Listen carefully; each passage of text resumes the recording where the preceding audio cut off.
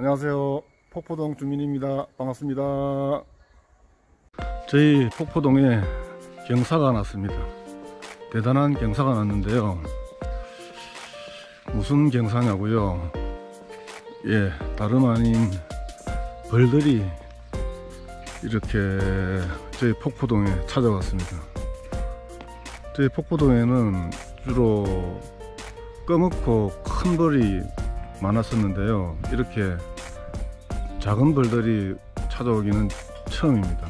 제가 이사 온 지가 한 5, 6년 되는데요. 처음 있는 일입니다. 벌들이 사라지면 인간도 살 수 없다라는 말을 어디서 들은 것 같은데요. 벌들이 이렇게 찾아오는 걸 보면 폭포동이 확실히 살기가 더욱더 좋아지고 있는 것 같습니다. 공기도 좋고 산도 가깝고 이렇게 울창한 숲도 여름이면 만들어주고 대단한 자연력을 가지고 있습니다. 우리 폭포동이. 자 그러면 위대한 생명력을 가진 을 한번 보시겠습니다.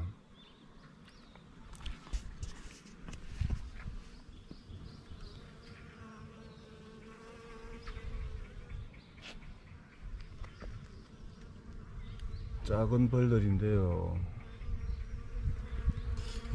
정통 우리나라 벌인 것 같습니다. 이렇게 벌들이 지금 카메라 소리는 안 들린지 모르겠지만 벌들의 날개짓 소리가 윙 하는 소리가 엄청납니다. 한번 들어볼까요?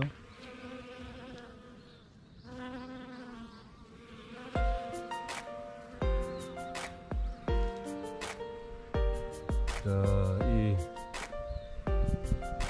크로바 토끼풀에 벌들이 꽉 찼습니다. 경사입니다. 포동에 경사가 났습니다.